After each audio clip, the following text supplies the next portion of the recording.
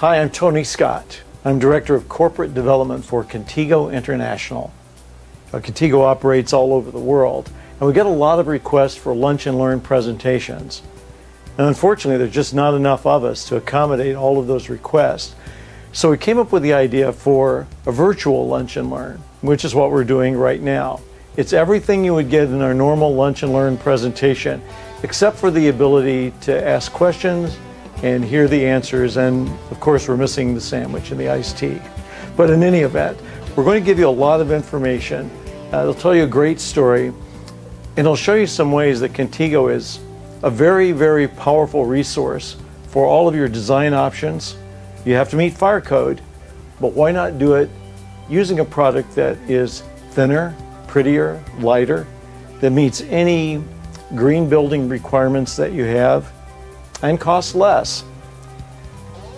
We say that fire is the problem, and we say that new fire resistance technology from Contego is the answer.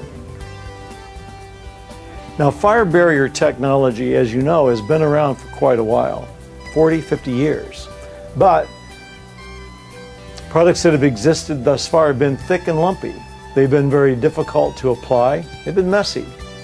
They've been toxic. They've been carcinogenic. High VOC contents. More often than not, they require very specially trained applicators. They require special equipment. There are scheduling difficulties because of all of that.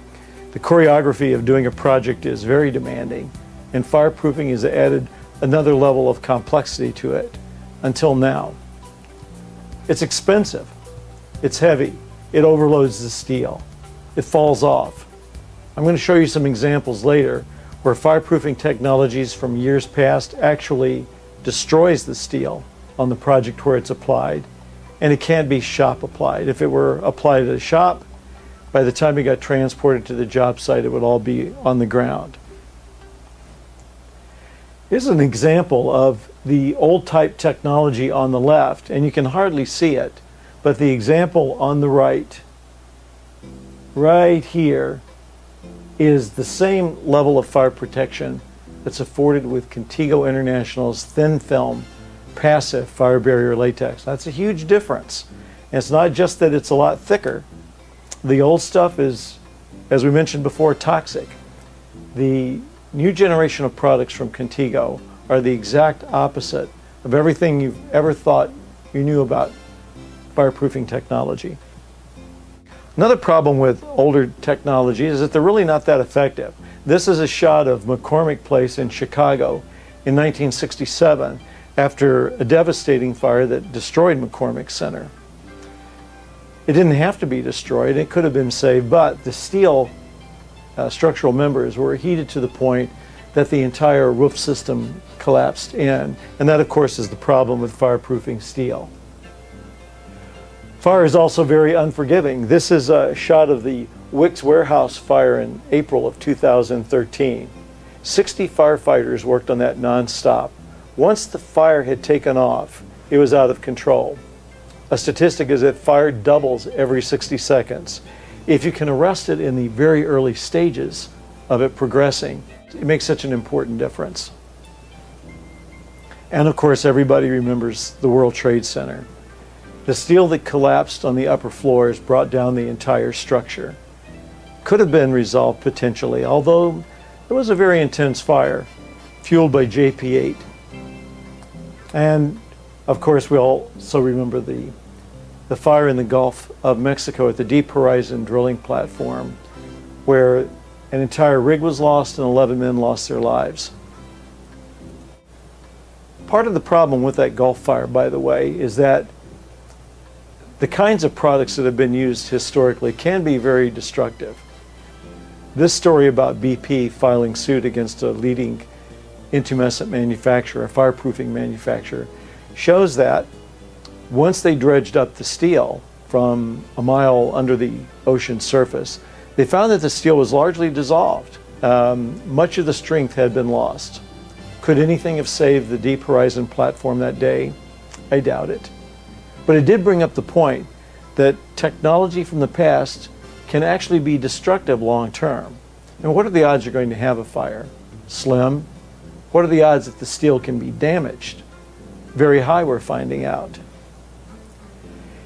Here's an example of steel that was uh, protected with uh, an older genre of technology. And you can see that it starts to leak out. This is freshly applied. This is within 24 hours. Within 72 hours, we start seeing cracks and fissures and we see opening. And inside this one section right here, you see that it's already started to rust. This is yet another project where it's, the product has been freshly applied. Rust has already started under the surface. And the thing about rust is that once it starts, it doesn't stop. Now also notice sections here where if anything touches this stuff, it falls off. And then you come back in and you do repair jobs. After 30 days, we get deep, hard black rust in this one example. Even within two weeks, repair jobs have been uh, called out and the rust continues to develop. This has been going on for a little longer, but we have a cavitation here between the steel and the fireproofing. And in there, rust is very deep, very profound. Here, the rust has turned into that black, bubbly orange stuff that is very aggressive. Now, this is a problem because a long time ago, when we built structures, they were actually overbuilt. And that's why at the end of World War II, when a B 29 Mitchell bomber slammed into the Empire State Building, nothing of substance happened. The steel was very, very heavy, far heavier than it needed to be. The way buildings are built today, though, we're able to engineer steel to a micron practically. That's great in terms of making a lighter structure, and it's great in terms of saving money. However, if you now take away 5, 10, 15, 20% of the steel that was built or used to build a structure, it's no longer sustainable. In some cases, we've run into projects that if a structural forensic analysis were to be conducted on those buildings today, it's unlikely that they would pass. This is a great example of that. This is from the new convention center in San Juan, Puerto Rico. This rust is very aggressive and as you can see, it's eaten away a fair amount of the steel. This is pervasive throughout the building. As this initiates rust, as you get this surface destruction of the steel, the adhesion here is lost. And most of these products call for application without primer. So the idea of using a rust inhibiting primer doesn't, doesn't work. Once that lets go, all of this falls off. Forensically, as you know, they found that most of the fireproofing that was on the World Trade Center was no longer there when they examined the steel. This is another example from a parking garage. This dark caramel color discoloration that's on the steel that you see tells me that there's rust. I remember going to a hospital project once where Contego was being used on all the steel that was exposed to the public, the pretty stuff. But the pan decking, all of the other steel, was treated with something like this, and that sort of coffee colored discoloration was pervasive throughout the project. And I made the point that that's rust. Unfortunately, it was in the pan decking on the roof in a five, six story structure. That's a problem. Now, Contego, by contrast, is very thin. And as you can see by this example that's getting ready to be tested at Intertek Laboratories in Elmendorf, Texas. It's also very, very uh, aesthetic. It's a beautiful coating, but it is very, very effective. This is a coating adequate to make this W12 by 96 go three hours restrained. All of this is important because fire is a problem. And it seems like it's more of a problem in spite of improvements in code because we have a lot more people. When I was a kid, there were 3 billion people in the world, and today there's over 7. Same amount of land, but a lot more people. High density is a big issue. And while fires statistically have been on the decline for probably 10 or 15 years, fires in high density structures such as apartments, um, high density office condo space, mixed use, uh, school dormitories, hotels um, are on the increase. And you know, they're a lot more devastating now, and there's a reason for that. It used to be, before the age of cramming a lot of people together, that taller structures were more the exception and not the rule. And now taller structures are more the rule and not the exception. You have to have efficient use of land. So now we have people that are stacked up on top of each other, below each other, to the left, to the right, to the north, to the south. A lot of people packed together. So not only do you have the damage to the structure that actually catches on fire, but a tremendous amount of collateral damage with all of the surrounding offices, condominiums, apartments, or dormitory rooms. And that's where intumescent is extremely helpful.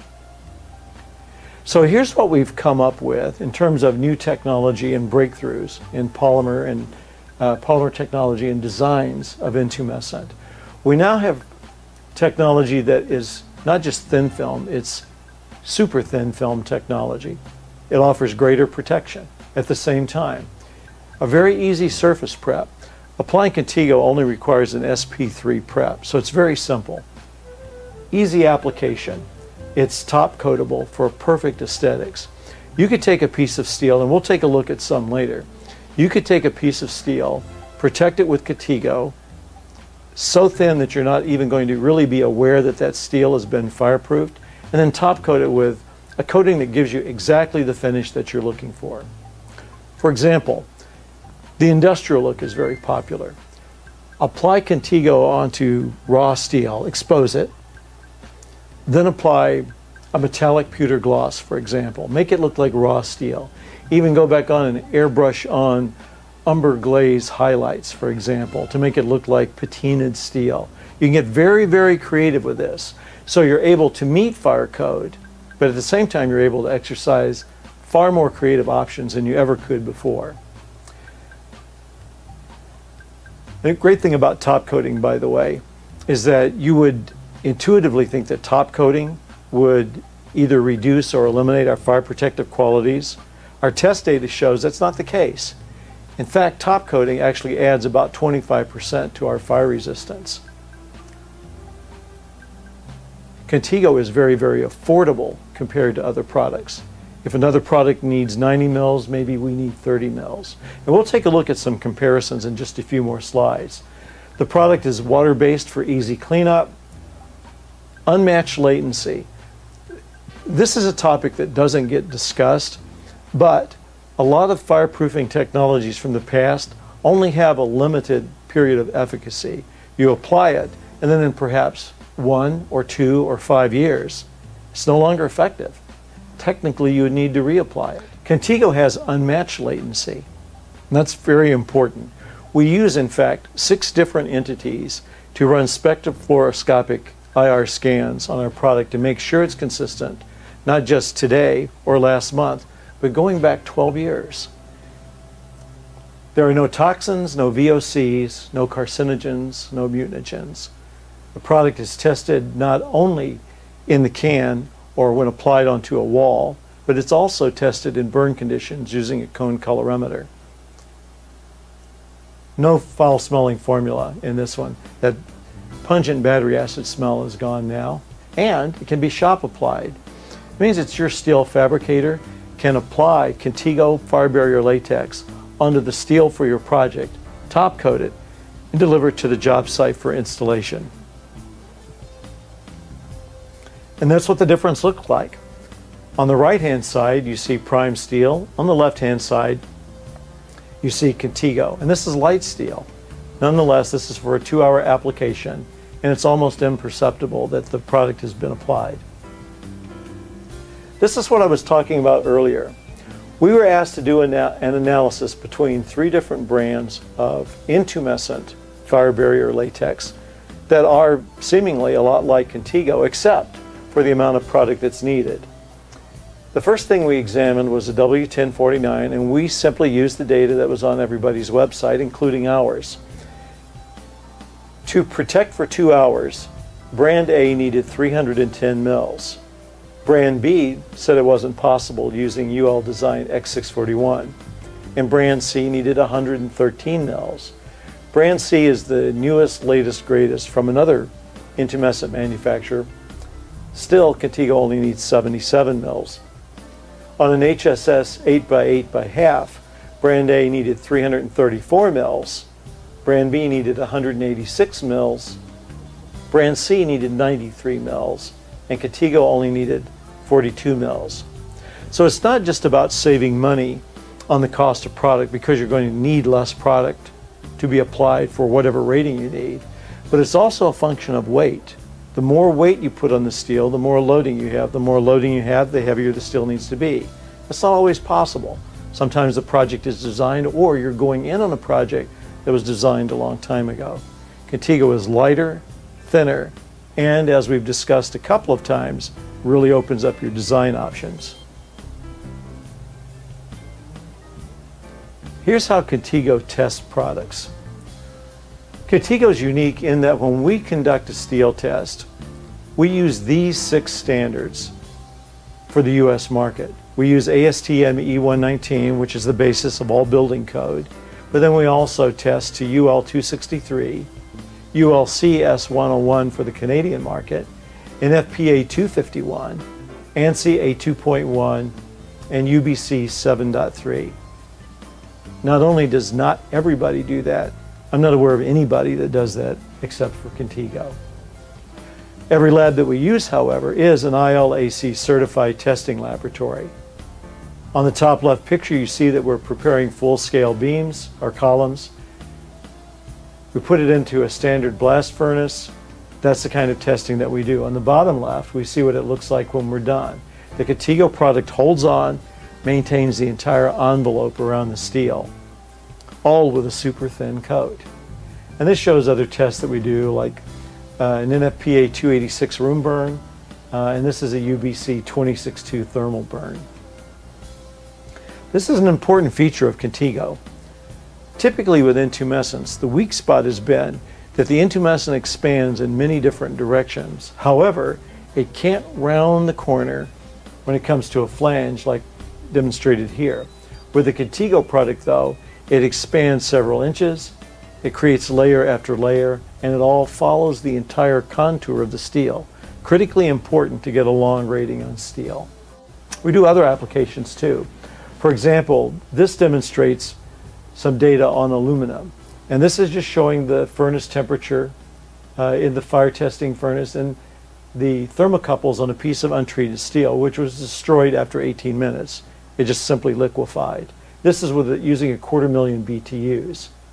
However, with the Contego product, the furnace temperature went to its maximum temperature. The Contego product leveled out at 18 minutes and stayed flat for the balance of the time. Over two hours. After about two hours and 20 minutes, we decided to stop burning propane. Uh, obviously, though, it would have gone on for a very, very long time. This is kind of an interesting thing we've been studying of late. Drywall. Is it a fire barrier or is it a fuel load? And we've always held out that the gypsum wallboard is in fact a fire barrier, which it is, but not initially. In the beginning, wallboard is a big fuel load, and I'll tell you why. We looked at, at an example of a house burn like this, and we found that the house was, or the burn was even more aggressive than here. It had traveled through the entire house. And here's why. When there was a flash fire in the kitchen and a fireball that came from that, it flashed the drywall in the formal dining room and then in the foyer and then in the other rooms on the first floor and then it went up the stairs and into the second floor. Huge house. And what that fire had for fuel was an incredible amount of square footage of what? Paper and rubber, latex paint on it. So before the gypsum board ever became a fire barrier, it was a fuel load. And it's a problem that happens in firefighting every day. Now this is a pretty big fire that you may remember. This was in Santana Row. Uh, Santana Row was a, was a project in San Jose, California. And in 2002, about $70 million worth of lumber was completely incinerated. A fire started on the windward side of the structure while it was still in framing stage. The fire marched through very quickly, very aggressively, very destructively, and very expensively. Take a look at some of the projects that we do. Uh, this is a project that we're, we're proud of. It's the entire Saudi rail system, north, south, east, west. The entire kingdom of Saudi Arabia uses Contego throughout their project. This is an example of what the steel looked like in the beginning. And the issue they had to deal with is how are we going to protect that? That's it's an unusual shape. It's the steel is huge, uh, and there's a lot of it, and it, it's traveling thousands and thousands of kilometers. This section had already been constructed when they discovered Contego. And they found that they could apply it before they erected it. And this is an example of a structure that was built that, uh, that is portable. This can actually be disassembled and moved. So they'll place one of, they'll place several of these structures and then paint some of the big pieces of steel in it and then move it along rails to where it's going to be installed. Then after a period of time, they move the structures down the track, reassemble it, start painting more pieces of steel that are, say, to the south and to the north, and then disassemble the building and move it again. A very effective way of painting all this steel. And look at how thin and pretty that is. You're able to actually use a tighter fan. You're able to spray it with commonly available spray equipment. So it's a very efficient coating to apply too. Here's another example of steel that's been prepared and uh, treated with Contego. This is for this is for a two-hour rating on a W. I think that's probably a W18. Um, again, you can see it's very thin, it's very pretty, it's very smooth. If you didn't know that steel was fireproofed, you would not know that steel was fireproofed. Now this is top coated with color. Give you an idea of what you can do with color. There's more texture actually to the top coat than there is to the Contego product below. And this is a, an example where they went back through and decided, no, if we can paint this with something that makes it look like steel or aluminum, let's do that. So they went back to this silver color. Contego has some advantages with projects like this with the USDA quarantine facility at Miami International Airport. We had a couple of challenges on this project. One is we wanted a thin, aesthetic, beautiful solution to fireproofing. As you can see, there's a lot of exposed structure in there. Uh, to match that architecture, we needed something really, really nice. But here's the other thing that's a quarantine facility we can't introduce anything into the quarantine facility. We can't, we can't have any off-gassing of the material. We can't leach out any formaldehyde uh, resin. We can't have those little fibrils uh, falling off and drifting through the entire breathable air in there. So that's why Contego was a great choice for this project. This is another kind of example where Contego saved the day. This is a development where we had 1,200 apartments and condos, and you can't see it, but there's shopping and parking and some other things on the other side. The problem was the ceilings were done in 5 8 X rock, which is what you'd normally do. However, code had changed. Well, the drywall contractor, not keeping up with the code, was surprised when the code officials came in and said, We have a problem. You should have used type C, and you used 5 8 X. He said, that's what we always use. And he said, well, not anymore. Code changed. So the, uh, so the fire official said, the only choice you have is to take that down and put up what you should have put up, which is type C. Even though that wouldn't be a perfect solution. But the contractor said that's not possible. These units are finished. They have crown molding in them. Uh, they, have, um, uh, they have wall coverings. Uh, appliances have been installed. They've been carpeted. These are ready to go. Um, code officials said, doesn't matter. I'm not giving you a certificate of occupancy because they don't meet, meet code. They said an alternative would be that they could put up a single layer of half inch regular rock, but then they'd have to retexture and paint, and that was basically the same problem they would have had if they had to reinstall all of the, all of the original drywall. The solution we came up with was clever. Our testing shows that Contego adds 55 minutes to any type of drywall. By going to a single thin coat, we added more than the 15 minute difference and thus the contractor was able to save $1.2 million in solving this problem. Contego is used heavily in the Port of Miami, and I'll show you some examples later of what they had at the Port of Miami before and what a difference Contego makes. This is what they had before. You can see that it started uh, rippling, delaminating, completely unacceptable. We found something interesting, and we're going to have this on a later video. We took samples of this stuff. It actually is now flammable. Not only is it not fireproofing anymore, it is definitely a fuel source. In the same way, just north of Port of Miami, we have Port Everglades. Um, the Port Everglades complex is fabulous, completely modernized. Cruise ships, freighters, all kinds of things come into Port Everglades. Um, and we're proud to be a part of it. Predominantly in the, in the passenger areas where they need something very, very thin, very pretty, very durable.